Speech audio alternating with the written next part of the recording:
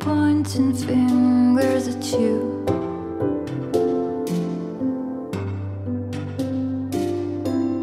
Flesh made of stainless